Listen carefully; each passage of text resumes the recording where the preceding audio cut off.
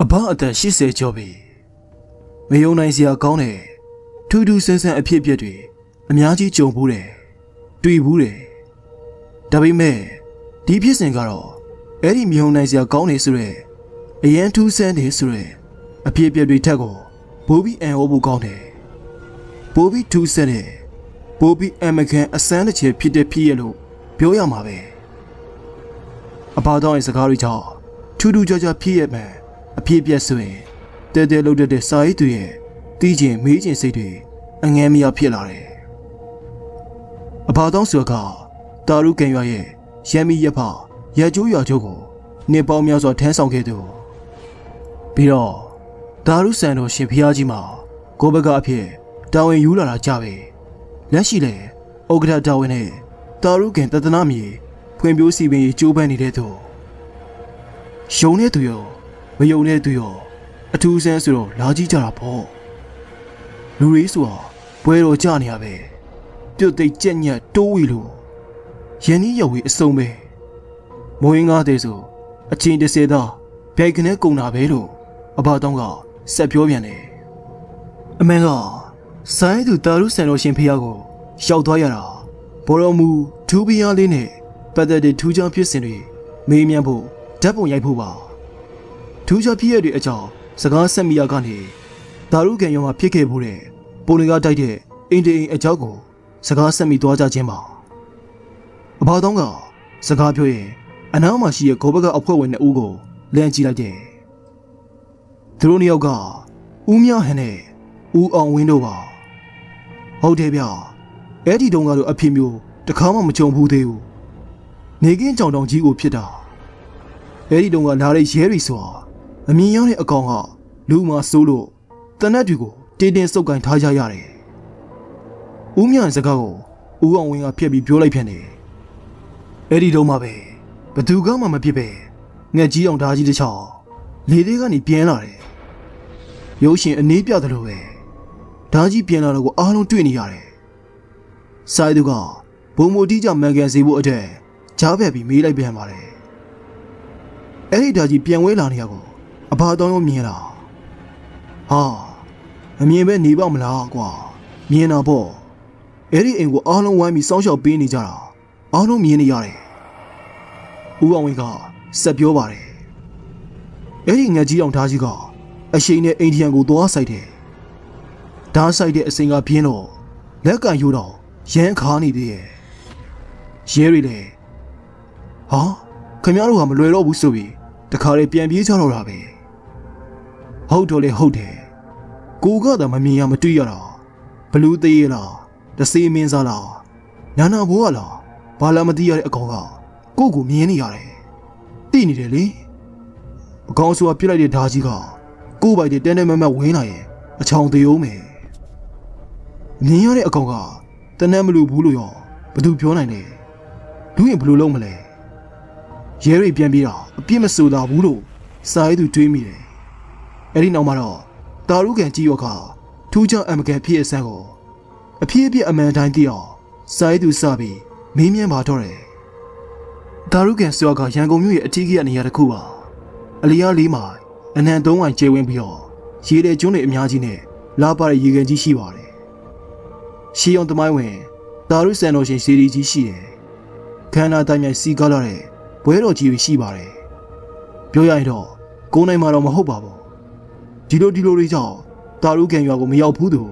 ရန်ကုန်တန်းတဲ့ခွင်မှာရှိမယ်မထင်ပါဘူးဒီလိုတင်ရှားကြော်ကြတဲ့တာရုကန်ရွာလေးဟာရန်ကုန်မြောက်ပိုင်းခရိုင်ရွှေပြည်သာမြို့နယ်ထဲမှာပါဝင်ပါတယ်အခင်းဖြစ်တဲ့အခါ1980ဝန်းကျင်ဆိုတော့ကြာခဲ့ပြီလို့ဆိုရမယ်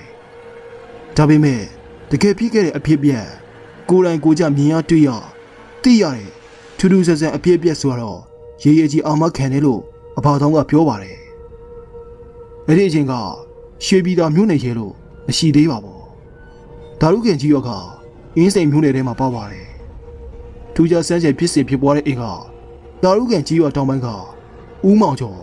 အမည်လွဲသူ့ရဲ့အိမ်မှာပါထူးထူးဆန်းဆန်းနေစတဲ့ဖြစ်ပွားတဲ့ကာလကမိုးကြကာလဖြစ်ပွားပုံကိုလူတွေကပုံနကားတိုက်တယ်လို့ပဲအလွယ်တကူပြောကြတယ်ဒါပေမဲ့ နားလေဆရာတွေကတော့ပုံနကားတိုက်တာမဟုတ်ဘူးပုံနကားတိုက်တယ်ဆိုတော့အင်းချပြီးအင်းဆောင်ပုံနကားဘလူးကိုကိုပြစ်စေချင်တာတွေလှုပ်ခိုင်းတာနောက်ပြီးတော့ပုံနကားတိုက်တာကအချင်းအတီးတီးကြကြပဲဒီနေ့နေ့လယ်မှာခဲရီကြရင်နောက်နေ့ကျရင်လည်းနေ့လယ်ခင်းမယ်ညနေနေဝင်ဒီရောအချိန်ဆိုရင်လေနောက်တနေ့မှာနေဝင်ဒီရောအချိန်ပဲခဲရီကြလာတတ်တယ်အခုဒါရုကန်ရောမှာထူးထူးဆန်းဆန်းနေဖြစ်နေတာ အချင်းအကန့်အသတ်မရှိဘူးတနေ့လုံးသူဖြစ်ကျင်တဲ့အချိန်ထားဖြစ်တယ်ညတကောင်မတိုင်မချင်းသူတို့ချင်တဲ့အချိန်ထားလို့တယ်ဖြစ်နိုင်တာကတစီတရေတို့နာနာဘွားတို့အကောင်ကိုမွေးပြီးအောင်လဲပညာနဲ့ခိုင်းတဲ့ပုံစံမှာထူးဆန်းတဲ့ဖြစ်စဉ်တွေနဲ့အစပထမဆုံးနှစ်ဖူးတွေထူးတွေကြုံလိုက်သူကဦးမောင်ကျော်ရဲ့တမီးငယ်ပဲဖြစ်ပါတယ်သူမကအသက်ဆက်ခေါ်ရန်ကုန်ရှင်မြို့ရဲ့ စင်ကြီးဘုံမှာနေရသူအပြိုရွယ်လေးပေမဲ့ဗုဒ္ဓဘာသာမိကောင်းဖခင်တွေရဲ့တမီးပီပီအနေထိုင်ကဘိုင်းကောင်ကြောက်ပြီပါတီဗီဥဒ္ဒဘာနဲ့ပြေဆုံးသူရိုးရိုးရည်ရင်ဝေစားစီရင်တက်သူလည်းဖြစ်ပါတယ်မင်းလေးတိုင်းလိုလိုစပင်းရှိဖြက်ကိုဝဲထားကြတဲ့ခီရီစီချောင်းထဲမှာသူမရဲ့စပင်းရှိကြီးတွေကအလားကိုအပင်ဆောင်းနေပါတယ်စပင်ကိုမျက်မျက်နုံနုံဖျန်းချက်ထားတတ်တဲ့ သူမကအိယာဝင်တဲ့အခါမှာတော့ဦးကောင်းရဲ့ဝဲဘဲနဲ့ရာဘက်မှာစတုံးတုံးစီထုံဖွဲလေးရှိရဲ့။လက်နက်ကြီးတစ်ခုရဲ့အေးအနိုးထားခြင်းမှာတော့ထိတ်လန့်အံ့ဩစရာအဖြစ်တစ်ခုကိုသူမကြုံတွေ့လိုက်ရတယ်။စတုံးတုံးမရှိတော့ပါဘူး။သူမအလံတခြားနဲ့မိမတွေကိုပြောပြတယ်။သူမအိပ်ပျော်နေတော့မှစတုံးကိုဘသူဖြစ်ယူသွားရလဲ။သူလား။သူလား။အမျိုးမျိုးစဉ်းစားကြပြီးမြဲခေါင်းလေးသာနောက်ချီရှုပ်ထွေးသွားတယ်။ အဖြေကတော့ရှာလို့မတွေးကြပါဘူး။မိမပြူတယောက်ရဲ့အိတ်ခမ်းနဲ့ဝင်စတုံးတုံးဖြည့်ယူဖို့ဆိုဘလို့မှမဖြစ်နိုင်တဲ့ကိစ္စအခုခေတ်မိန်းကလေးတွေလို့စပင်ကိုဝဲထားခြင်းလို့ညံစင်တာပဲဖြစ်မယ်မြောက်ကသူမစီလဲလာတယ်သူမကမဟုတ်တဲ့အကြောင်းပြောပြီးတော့ညင်းပါတယ်ဖြစ်စဉ်အမှန်တိုင်းပြောပြတယ်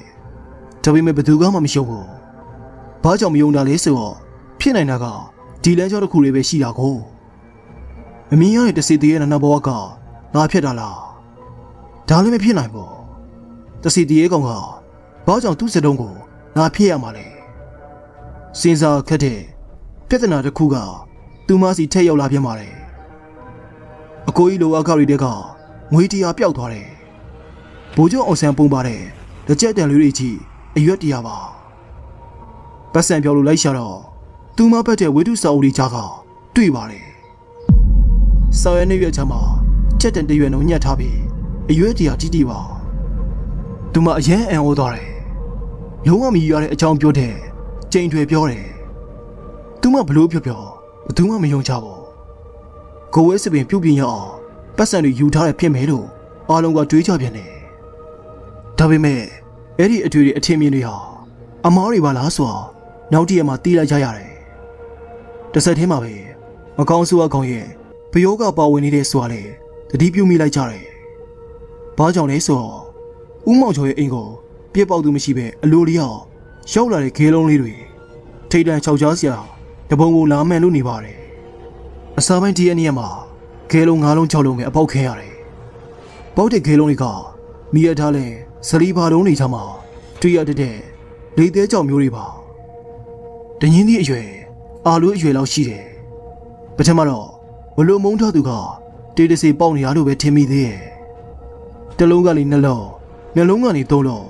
သုံးလုံးကနေလေးလုံးတဖြည်းဖြည်းများလာတော့လူပေါက်တာမဟုတ်နိုင်ဘူးလို့တန်တရားဝင်လာတယ်ပြီးတော့ဂေးလုံးတွေထိမှန်တဲ့အတန်မကောင်းဆိုးဝါးကောင်တွေပြေပေါက်တာမူလားမသိဘူးအရန်ကြေလောင်တယ်ဝုံကနေထိုင်ကနေဘုံကနေပဲဂဲတီတီလေးနဲ့ထိလေအတန်ကကြောက်စရာလန့်စရာအခြေကြီးမြည်နေတယ် ရဲကြလာနဲ့အမျှမကောင်းဆိုးဝါးကောင်ရဲ့တိုက်ခိုက်နောက်ရှက်မှုကပြင်းထန်လာခဲ့ပါတယ်ဂေးလုံးတွေမီယူတဲ့နဲ့အောင်ပြစ်ပေါက်လာတယ်ပို့ပြီးစိုးရတာကမိဖို့ကြောင့်သာသုံးတဲ့ပစ္စည်းတွေမိဖို့ကြောင့်တွေကနေအိတ်ခန့်ထိကျလာခဲ့ပါတယ်ဘသူပြစ်ပေါက်လိုက်တယ်ဆိုတော့အကောင့်ထဲမမြင်ရပါဘူးကိုနီးကိုရောက်လာမှမြင်ရတာပြီးတော့ကိုရှိမှာခြေလုံးနဲ့အတန်ကြီးနဲ့ကျသွားတယ်ကျောက်ဆရာအကောင်းဆုံးကခဏခဏလေထဲကနေ ဝဲပြန်ကျလာတတ်တဲ့ကြောင်ရုပ်ဆောင်ကြီးလို့ပြောပါတယ်ထူးဆန်းတာကကြောင်ရုပ်ဆောင်ကြီးဒုံကနေကျမ်းမြေပေါ်ပြုတ်ကျလာပါတယ်ဒါပေမဲ့ထောင်လေးရပဲရုပ်ကြည့်ဝေးကလည်းခွက်ထဲမှာတင်းလေးရပဲပြီးတော့မိဖို့ကြောင့်ထဲမှာထမင်းချက်တယ်ထမင်းပွဲတော့ငဲ့ဖို့လက်နီးစုပ်လန့်ယူတယ်ရောင်းမှလန့်ယူတယ်ယူပြီးတော့ထမင်းဥပွဲလေးလိုက်တော့ထမင်းအိုကမောက်နေပြီဟင်းအိုတွေလည်းဒီအတိုင်းပဲ မကောင်းဆိုးကောင်ရဲ့အကျင့်ကအိမ်သားတွေထမင်းငဲ့အောင်လုပ်တာလားယူဖို့ကြောင့်မနေရဲ့အထက်မီးပူတယ်မခံနိုင်လို့လုပ်တာလားစဉ်းစားစရာပါမီးဖို့ကြောင့်လည်းကိုတော့အဝင်မခံတဲ့ပုံပါတခါဦးမောင်ကျော်ရဲ့လူတယောက်ကမကောင်းဆိုးကောင်ကိုစိန်ခေါ်တယ်ဘယ်မှာလဲကောတည်းရဲ့ထွက်ခဲ့စဲအခုထွက်ခဲ့စမ်းပါကောအော်ပြီးတော့မိဖို့ကန်တွေကိုဝင်သွားတယ်ဘာပြောကောင်းမလဲ မိဖို့တွေခင်းထားတယ်လူကြီးတယောက်မနိုင်မနေမားရတဲ့မြေကြီးကဲလုံးကြီးလေတဲ့မြောက်တက်လာတယ်စိန်ခေါ်တဲ့လူရဲ့ရှိကိုဝုန်းကနေပြစ်ကြတယ်တရေကိုစိန်ခေါ်သူလေမိဖို့ကြောင့်တွေကတချို့တွေထွက်ပြေးရတော့တာပဲတစားတဲ့တစားစိုးရောက်လာတဲ့မကောင်းဆိုးရတဲ့နောက်ရှက်မှုကိုဦးမောင်ကျော်တီးမခံနိုင်တော့ဘူးဒီတက်ပို့ပြီးလူတွေကိုပါအန်ရပြုတ်လာမှစိုးရင်လာတယ်ဒါကြောင့်မကောင်းဆိုးရတဲ့နောက်ဘဝတွေညှင်ထုတ်ဖို့အတွက်ဆရာလိုက်ရှာတယ် ရဲအနေငယ်အတွင်းမှာပဲအမောင်ပြောကတွေကိုနိုင်နိုင်နေနေရှင်းလင်းဖေးစားနိုင်တဲ့ဆရာတယောက်ကိုတွေ့လိုက်တော့တယ်တာရုခင်ရွာကထူးခြားတဲ့ဖြစ်အစဲအောင်ရွာထဲမှာပဲကြည်ပြီးဖြစ်နေတယ်ဒီလိုအနေထားကနေရဲအနေငယ်အတွင်းမျိုးပြတိုင်းတစ်ခွင်နိုင်ငံရဲ့အဝမ်းထူးခြားဖြစ်အစဲအဖြစ်လူသိများထင်ရှားသွားတယ်ဒီလိုတင်ရှားသွားခြင်းအကြောင်းကိုအဖေတော်ကပြောပြခဲ့ပါတယ်ဦးမောင်ကျော်အိမ်မှာထူးထူးဆန်းဆန်းဖြစ်နေတဲ့အကြောင်းရွာထဲမှာတော့ ဟိုလူပြောကြည့်လူပြောပြောလာကြပြီးကျုပ်လည်းကြားနေတယ်ကျုပ်ကအဲ့ဒီတုန်းကတာရုကေရွာမှာကောင်းစီဥက္ကဋ္ဌပေါ့ဒီနေ့တော့ကျုပ်ဦးမောင်ကျော်အိမ်ကိုရောက်သွားခဲ့အဲ့ဒီအိမ်မှာကြော်ဘွေးတွေကလည်းအများကြီးအမွေးတန်တွေဖျောင်းတန်တွေလည်းထုံးလို့မကောင်းဆိုးကနေမဲဆရာနဲ့ရွာတွေကလူအချို့လည်းရောက်နေကြတယ်အမှန်ပြောရရင်ကျုပ်လည်းတိတ်ယုံလာတယ်တော့မဟုတ်ဘူးဗျာတရေသစီအစွဲလန်းနဲ့ထင်အောင်ထင်မှာဖြစ်တာလို့ပဲ ထင်မိတာဒါကြောင့်လေတည်င်းတွေကြားနေပေမဲ့ဦးမောင်ကျော်အင်းကိုမသွားဖြစ်ခဲ့ဘူးဒီနေ့မှကြီးပေါ်တောင်းရှိသူတို့အနေနဲ့အချိုးအကြောင်းမေးမြန်းစုံစမ်းဖို့သွားခဲ့တာဦးမောင်ကျော်အိမ်ရောက်တော့ဘေအိုကဆရာပေးပြီးမကောင်းဆိုးကနေနှင်းဖို့အစီအရွေလုံနေကြတာတွေ့ရတယ်ကျိုးလေဦးမောင်ကျော်နဲ့ရက်ပြီးစကားပြောတယ်အဲ့ဒီအချိန်မှာပဲထန်းသီးလုံးတော့အရွယ်အစားရှိတဲ့ကြောက်ခဲကြီးကျုပ်ဘေးကိုကြာလာတယ်အတန်ကလည်းကျေလိုက်တာဘုံကနေပဲ ရုတ်တရက်ဆိုတော့ကျုပ်လည်းလန်လဲလန်အန်လဲအန်အိုးသွားတာပေါ့တိတ်မကြပါဘူးဂဲရစ်အိမ်ကိုလာမယ်နေဗျာ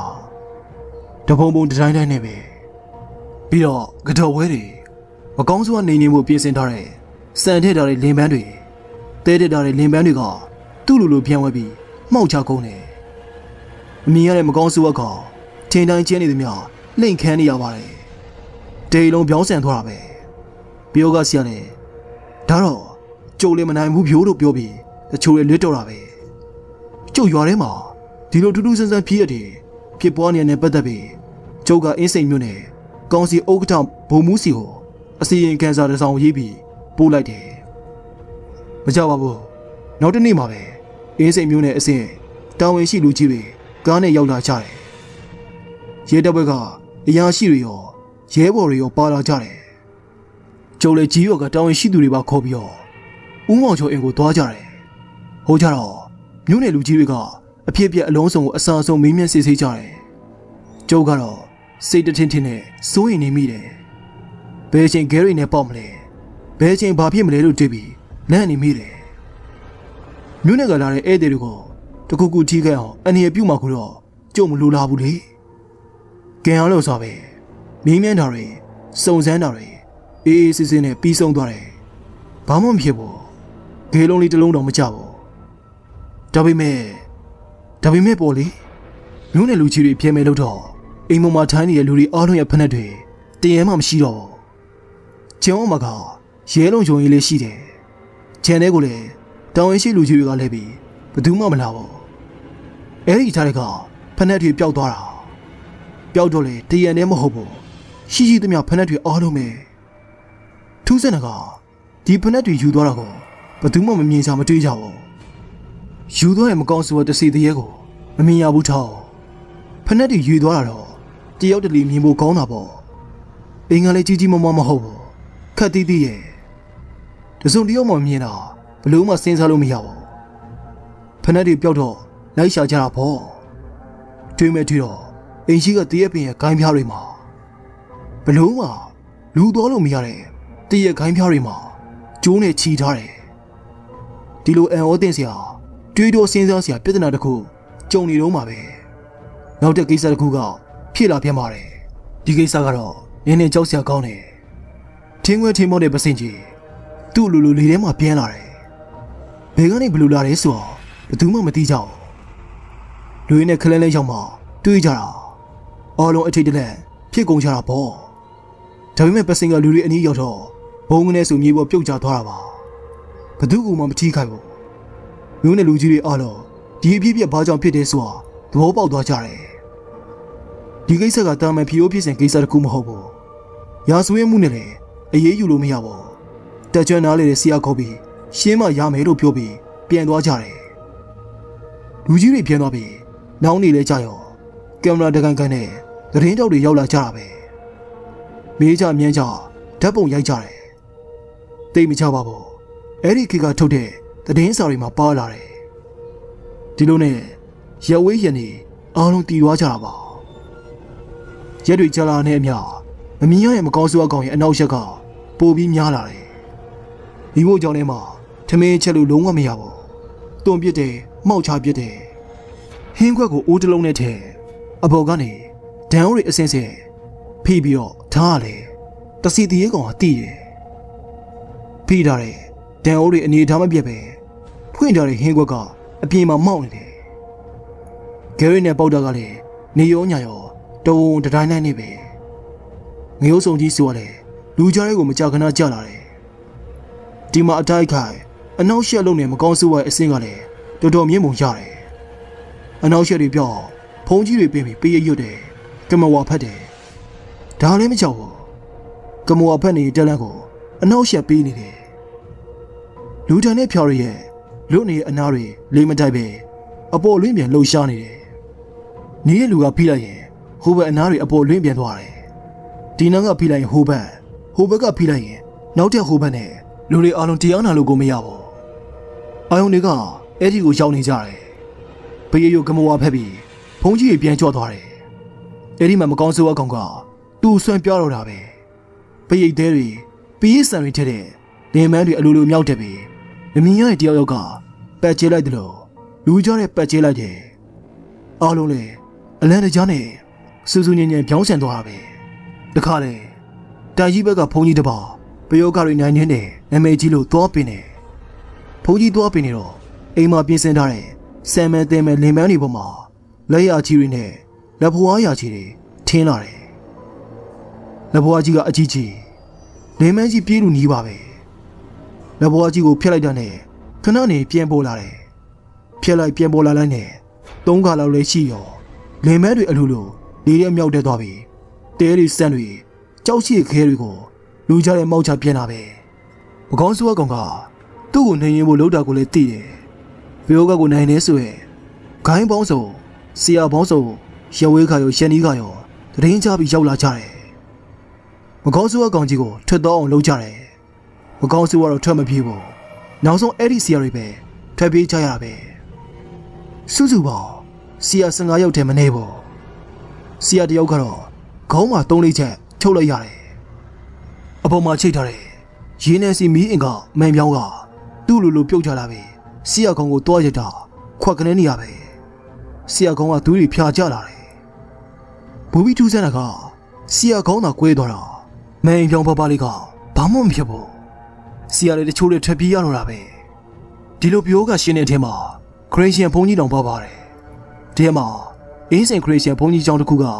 တင်းအောင်ဆရာနဲ့သူ့အဖွဲ့တွေရောက်လာကြတယ်သူတို့ဘာသာအယူအဆတိုင်းရွတ်ဆိုပြီးမကောင်းဆိုးဝါနင်းတယ်အဲ့ဒီအချိန်မှာပဲအင်ကိုဂယ်ရီနဲ့တထုံထုံလားမယ်နဲ့သူတို့လည်းပြန်ပြေးသွားရတာပဲဒီမကောင်းဆိုးဝါကောင်ကိုဘလို့ခိုင်းကဘလို့စီယမမနိုင်ဘူးဖြစ်နေတယ်ဘလို့မှမတက်တာတဲ့အစော အိမ်ရှင်မိသားစုကိုအချမ်းကြီးပြောင်းနေဖို့စီစဉ်တယ်ပထမဆုံးအိမ်လဲနေဆွေမျိုးသားချင်းလည်းဖြစ်တဲ့အိမ်ကိုဦးမောင်ကျော်တို့မိသားစုအားလုံးပြောင်းနေကြတယ်သူတို့အိမ်ကိုရဲရွာအကြီးအကဲတွေကာလာသားတွေအားလုံးဝိုင်းပြီးစောင့်ရှောက်ပေးကြတယ်တစီတရေကောင်ကအားလုံးတည်နေသလိုပဲပြောင်းတဲ့အိမ်ထိလိုက်ပြီးခင်းနဲ့ပေါက်ပါတယ်ပေါက်တဲ့အထဲမှာနေပေါက်မျိုးစွာကလေးကပြောင်းနေတဲ့အလေးတွေတောင်ပါပါတယ် အိမ်ရှင်တွေကိုအားနာလို့ဦးမောင်ကျော်တို့မိသားစုနောက်တအိမ်ထက်ပြောင်းတယ်မကောင်းဆိုးအကောင်ကတော့လိုက်နေမြဲပဲအင်ကိုခဲရိနဲ့ပေါက်နေမြဲပဲဒီလိုဦးမောင်ကျော်တို့ပြောင်းသမျှအိမ်တွေထိခဲနဲ့ပေါက်ပြီးနောက်ရှက်နေပြီမဲ့မူလအင်ကိုလည်းအလိုမဖေးဘူးမိမျိုးစုံနဲ့နေရောညပါအနောက်ရှက်ပေးနေတာပဲစောင်းရှောက်ပေးနေတဲ့ရမီရဖတွေကလာသားတွေကိုဘယ်လိုမျိုးချောင်းလဲအနောက်ရှက်ပေးပါတယ်လို့ စာရေးသူမေးမြန်းမိပါတယ်။အဖတော်ဦးမြဟန်နဲ့ဦးအောင်ဝင်းတို့ဟာအဲ့ဒီအချိန်ကလေးကတာရုခေရွာမှာကြီးရွာအုပ်ချုပ်ရေးတာဝန်တွေစီမံခန့်ခွဲရေးတာဝန်တွေအထူးတူကထဲဆောင်ခဲ့ကြသူတွေပါ။မကောင်းဆိုးတဲ့နာဘောအကောင်နောက်ရက်တဲ့ကိစ္စမှလည်းရွရွလူတို့ကိုဦးဆောင်ပြီးဦးမောင်ချိုတို့ကိုကူညီဆောင်ရှောက်ခဲ့ကြတယ်။ဒါကြောင့်မကောင်းဆိုးအကောင်ချုံနဲ့အနောက်ရက်ပြူတာတွေကိုအထူးတူကမြဝန်းတီတယ်မြင်တွေ့ခဲ့ကြပါတယ် ဦးမောင်ကျော်တို့မိသားစုနာနာဘိုးအရှင်ချောင်းအိမ်ပြောင်းနေကြတော့ကြံခဲ့တဲ့အိတ်ကိုရဲရော်ကဝိုင်းပြီးစောင့်ရှောက်ပေးကြတယ်။အဲ့ဒီအခါမှာပကောင်းစုအကောင်ရဲ့နောက်ဆက်တက်ခိုင်းမှုအမျိုးမျိုးကိုကြုံတွေ့ကြရတယ်။ပကောင်းစုအကောင်ဟာအဲ့လိုတင်းငယ်ချုံထက်တဲ့အရာနဲ့လည်းစူးကနေဖြစ်အောင်ထိုးတက်ပါတယ်။ထိုင်းနေလေအဲ့နဲ့အထိုးခံရတယ်လို့ခံစားရတဲ့သူ၄-၅ယောက်ရှိတယ်။ကျွန်တော်ကိုယ်တိုင်လည်းအဲ့နဲ့ထိုးတာကို တစ်ချိန်ခံခဲ့ရပါတယ်လို့ဦးအောင်ဝင်းကပြောပြပါတယ်တခါမှာနေခင်းကြီးစကားပြောနေကြတော့ခြေတော်အောက်ကဝလုံးရှည်ကိုတဖြောဖြောနဲ့လာဆွဲသွားတယ်ခြေတော်နဲ့လိုက်ဖိရတော့မရပါဘူးဝလုံးရှည်ကိုမမြင်ရတဲ့ဒီစုံတယောက်ကဆိုးတဲ့အတိုင်းသူ့လူလူသွားနေပါတယ်တခါကျတော့ရေပြင်းနဲ့တောက်ရီအိုချေဘလူကန်းနေဘလူရောက်လာတယ်ဆိုတာမတွေ့ရဘူးလူအုပ်ချားလေးကနေကြလာမှသိရတယ်ဘုံဆို လူအိုကြားထဲကျလာတယ်ထူးကြတာကလူတရဲလောက်အမြင်ကနေပြုတ်ချတာအတန်ကြီးတာကျဲသွားတယ်ရေလုံးဝမဖိဘူးရေအိုးမခွဲဘူးဒီတိုင်းကြီးနေပါတယ်ဂယ်ရီနဲ့အိတ်ကိုတပုံပုံပြစ်ပေါက်တာခေါမူးမပေါက်ပဲအိမ်ချမ်းမြေပေါ်ဂေလုံးတွေတဒုံဒုံကျတာကတော့နေ့စဉ်နေ့တိုင်းမလို့ပါပဲလူကိုထိအမှန်အောင်လေမလုပ်တော့ကြောက်စရာမကောင်းပဲပြောစရာကောင်းလာပါတယ်တည့်ရနေခင်းအချိန်မှာ ကျမ်းပြင်ပေါ်ခဲတွေတထုံထုံကျလာတယ်။ခဲတွေသာတင်းရင်းသီးလောက်အာလူးအရွယ်တွေအဲခါဦးတောင်ကကင်တိုင်းမြင်ပြူခင်းနဲ့ကျလာတဲ့ခဲတွေကိုဝိုင်းလိုက်တယ်။ပါဇက်ကလည်းချုပ်တယ်ချုပ်တယ်ကွာလို့ပြောတယ်။ရောလာသမီးဆီယာတွေကချုပ်လိုက်ပြီးချုပ်တယ်ဆီရဲ့စကားအမြဲပြောတတ်ပါတယ်။ဦးတောင်ကဆီယာတွေပြောတဲ့အတိုင်းနောက်ပြောင်ပြီးလိုက်ပြောနေတာ။တူတူလေးကြတော့အပေါ်ကခဲတွေမကြတော့ဘူး အဲ့ဒီချုပ်တယ်ကွာချုပ်တယ်ကွာလို့ပြောပြီးမြေပြူနဲ့ကင်ထားတဲ့ခေလုံးတွေကအလိုလျောက်ထကုန်ပြီးတထုံထုံပြန်ကြနေပါတယ်အဲ့ဒီအချိန်မှာလူတွေကြားတဲ့ကိုဂလွန်းဂလွန်းဆိုပြီးမြင်းလေးမှာတုံးတဲ့တန်ကြိုးကြီးကျလာတယ်ရုပ်ရည်ကြီးကျလာတာမို့အားလုံးလန့်သွားတာပေါ့ဒီမှာရင်ရက်မသွားဘူးဖြိုကြည့်နေမျက်စိရှိမှာပဲကြလာတဲ့တန်ကြိုးကြီးကလူတယောက်ကနေခွေးနေတယ်လို့ တည်ရချင်းတပတ်ချင်းခွေပြနေပါတယ်အံ့ရောလို့ဦးမြဟန်ကပြောပြပါတယ်ထူးခြားတဲ့ကူလေးကြုံရသေးတယ်လို့အစကြည့်ပြီးအဘတုံးကမမ်မီလာကိုပြောပြပြန်ပါတယ်ညညာစောင့်အိတ်တဲ့လူတွေထဲမှာပတလာတီးတဲ့သူပါတယ်တညကြသူ့ဝါပတလာကြီးမလာတယ်ကလာသားတွေအပျော်တီးကြပါစီလို့ခွင့်ပြုလိုက်တာစိုးကြတီးစားနဲ့တော်တော်ညာနဲ့မှအိပ်ပျော်သွားကြတယ် တကောင်လောက်ကြတော့ကျုပ်တို့ရောကလာသားတွေရောအိမ်ကြီးရဲ့လူတွေအားလုံးလန်နိုးလာကြတယ်မနိုးလို့လည်းမရတော့ဘူးလေနန္ဒဘွားကပတလာတီးနေရကိုအကောင်အထင်မမြင်ရပဲပတလာတီးတဲ့လက်နှစ်ခုကဝတ်ပတလာပေါ်ရှောက်ပြီးတီးနေတာကြက်သိန်းထားစရာကြီးဗျအကောင်ဆိုကဝေယောင်နောက်ဆက်တဲ့ကိစ္စဆက်နေပြီထူးခြားတဲ့ဖြစ်စဉ်တခုလည်းတာရုခံရောက်မှာဖြစ်ပေါ်လာပြန်ပါတယ်အဲ့ဒါက ဦးအောင်မြအမီလွဲသူ့ရဲ့အကြောင်းပါသူကလက်တွေကိုယုံတယ်ကိုးကွယ်တယ်အင်းရှင်ဦးမောင်ကျော်တို့မိသားစုပြောင်းတဲ့အိမ်သားကိုမကောင်းအစိုးရကနောက်ပြီးနောက်ချက်တယ်ဆိုတာသိတော့အိမ်မှာလာနေကြဖို့ဦးအောင်မြောက်ကခေါ်ပါတယ်သူတို့အိမ်ကအိမ်တွင်းထဲကမကောင်းအစိုးရကလာတာကိုလက်ခံမှာမဟုတ်ဘူးနေနေပြစ်မယ်လို့လည်းသူယုံကြည်ထားတယ်ဒါပေမဲ့ဖြစ်နေရကဒီမကောင်းအစိုးရကိုဘယ်သူမှမထိန်ချုံတာဘူးမနေနေနိုင်ဘူး ဦးမောင်ကျော်တို့မိသားစုဦးအောင်မြအိမ်ရောက်တာနဲ့မကောင်းစုအကောင်ကထက်ချက်မကွာလိုက်လာတယ်ဂယ်ရီနဲ့ပေါက်တယ်နောက်ရက်တယ်ဦးအောင်မြလည်း net တွေကိုစိတ်ဆိုးသွားတယ်မကောင်းစုအကောင်မနိုင်တဲ့ net ဘာလို့ကိုးကွယ်ရမလဲဆိုပြီးအိမ်ရင်းစင်မှာဖြုတ်ပြီးလွှင့်ပြလိုက်ပါတယ်အဲ့ဒီအချိန်ကစပြီးဦးအောင်မြ net မကိုးကွယ်တော့ပါဘူးဒီနေ့အချိန်ကြီးလေအိမ်တွေအောင်မဆွဲတော့ပါဘူး တေးကပြောင်းတဲ့အိမ်တွေတိုင်းလိုက်ပြီးနောက်ရက်နေရကြောင်းဦးမောင်ကျော်တို့မိသားစုလည်းသုံးအိမ်ပြောင်းပြီးရနဲ့နောက်ဆုံးမှကိုယ့်အိမ်ကိုပဲပြင်လာရတဲ့ဘဝရောက်သွားတယ်။မကောင်းစုအကောင်ကဦးမောင်ကျော်တို့မိသားစုကိုလေးလလောက်ကြာတဲ့အထိရည်ရွယ်ချက်ရှိရှိအတက်အခက်အနောက်ရှက်အမျိုးမျိုးလုပ်နေခဲ့ပါတယ်။အဲဒီနောက်မှာအထက်လဲဆရာကြီးတယောက်နဲ့သူ့တပည့်တယောက်တာရုကဲမြောင်ကိုရောက်လာကြတယ်။သူတို့ကချောင်းစုံမျိုးနဲ့ကွန်သေးရွာကနေလာကြတာလို့ပြောပါတယ်။ ဒီဆရာကြီးရဲ့ပညာကအစွမ်းတက်တယ်လို့ဆိုရမယ်။သူတို့ရှိမှပဲမကောင်းဆိုးအကောင်ကြီးထွက်ပြေးသွားပါတော့တယ်။ဒါတော့တလောက်လောက်အချိန်ယူရပါသေးတယ်။ဒီကြားထဲမှာမကောင်းဆိုးကနနာဘွားနဲ့အထက်လဲဆရာတို့ပညာပြိုင်ကြတယ်တဲ့။မကောင်းဆိုးအကောင်ကဆရာကြီးကိုရန်ပြလို့မရနဲ့တပည့်ဖြစ်သူကိုမင်းလင်ကိုအနေရပေးတယ်။ဒီနေ့ကိုမင်းလင်တာရုကန်တော့ကနေလမ်းလျှောက်လာတော့ကျွန်းတဲ့ကြီးတကောင်ကရှေ့တဲ့တဲ့ကနေ လမ်းပိတ်ပြီးရက်နေတယ်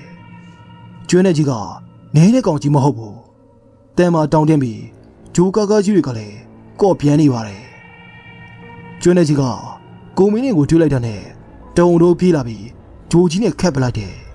။ကိုမင်းလွင်လေထဲလွင့်သွားပါတယ်။စူးကြုံပေါ်သွားတင်းနေပါတယ်။ကျွန်းတဲ့ကြီးကတော့ချက်ချင်းပဲပျောက်ကွယ်သွားတယ်လို့ဆိုပါတယ်။ကိုမင်းလွင်ဟာကျွဲကက်ခင်ရတဲ့ဒဏ်ရာတွေကို တလားလောက်အချိန်ပေးကူးသားလိုက်ရပါတယ်။မကောင်းစုအကောင်ကကျွေးအောင်ဆောင်ပြီးတိုက်ခိုက်တယ်လို့အထက်လန်းဆရာကြီးကလည်းသူ့ရဲ့ထူးခြားတဲ့ပညာစွမ်းတွေနဲ့တုံ့ပြန်တက်ခဲ့ပါတယ်။ထူးခြားတာကဆရာကြီးကရွာထဲကိုလုံးဝမဝင်ပဲပုံညာတင်ခင်အเจ้าမှာပဲတဲကိုနေထိုင်ခြင်းပါ။အခင်းဖြစ်တဲ့ဦးမောင်ကျော်ရဲ့အိမ်ကိုလည်းလုံးဝမသွားပါဘူး။နာနာဘူကအဖော်နေနေတက်ခဲ့တဲ့အစီရင်ကိုတဲကိုရဲ့နေရာကပဲပြုတ်လုပ်ပါတယ်။ သူ့မှာအထက်လန်းပညာနဲ့စီရင်ထားတဲ့ကြောက်ဖြူကြားရုပ်လေးတစ်ယောက်ပါလာပါတယ်။ညအုပ်ပိုင်းမှာဆရာကြီးကဂါရမန်ဒီယာတွေရွတ်ပြီး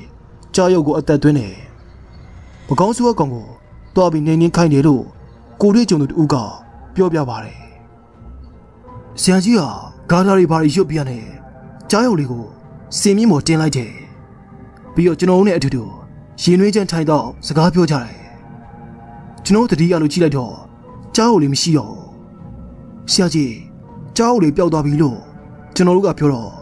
အေးအေးဟုတ်တယ်သူ့လိုသူသွားလုံနေရပါအလုပ်ပြီးရင်ပြန်လာမှာပါလို့ပြောပါတယ်ကျွန်တော်လည်းစကားဆက်ပြောနေကြပါတယ်ညတကောင်ကျော်လောက်တတိယလို့ကြည့်လိုက်တော့ကြောက်လီသူ့နေရာသူပြန်ရောက်နေပါတယ်ကျွန်တော်စကားပြောနေအခန်းထဲကိုဘယ်သူမှဝင်လာထွက်တာမရှိဘူးကြောက်လီသူ့လိုလိုပျောက်သွားတာပြန်ရောက်လာတာတွေကလည်းအန်ဟောဖို့ကောင်းတဲ့ပညာရက်ပါ အဲ့ဒီနောက်ပိုင်းမှာမကောင်းစုအကောင်ရဲ့အတက်အခိုင်အနောက်ရှက်တွေတနေ့ထက်တနေ့ရောပါလာတယ်။တလားလောက်ကြတော့လုံးဝကင်းရှင်းသွားပါတယ်။ဒီနေ့အထိလည်းပြန်ဖြစ်မလာတော့ပါဘူး။ဆရာကြီးကမကောင်းစုနဲ့နော်ဝါကောင်နေနေပြရနဲ့သူ့ရွရွကိုပြန်သွားပါတယ်။သူမသွားခင်မှာဒီပီယိုကအနောက်ရှက်ပြုတ်လို့တဲ့မကောင်းစုအကောင်သူ့ရဲ့အထက်လန်းပညာနဲ့အပီးတဲ့နေနေခဲ့တာဖြစ်ခဲ့အကြောင်းတစ္ဆာဆိုသွားတယ်လို့အဘတုံးက ပြောပြပါတယ်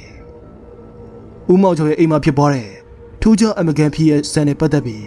စာရေးသူကြည့်ချင်တဲ့အချက်တစ်ချက်ရှိပါတယ်။အဲဒါကတော့ဦးမောင်ကျော်ရဲ့အိမ်ကိုမှမကောင်းဆိုးအကောင်ဘာကြောင့်ရောက်လာရလဲဆိုတဲ့အကြောင်းပါ။ဒီအကြောင်းနဲ့ပတ်သက်ပြီးစာရေးသူရဲ့မိကုန်းကိုတော့ဘယ်သူမှမဖြေနိုင်ကြပါဘူး။ဆရာကြီးကိုယ်တိုင်ကလည်းဒီအကြောင်းကိုပြောပြခြင်းမရှိဘူးလို့သိရပါတယ်။ဆရာကြီးတပည့်ရဲ့ကိုမင်းတွေဟာဖေးစီရဲ့နောက်ပိုင်းတာရုကေရောင်မှာပဲ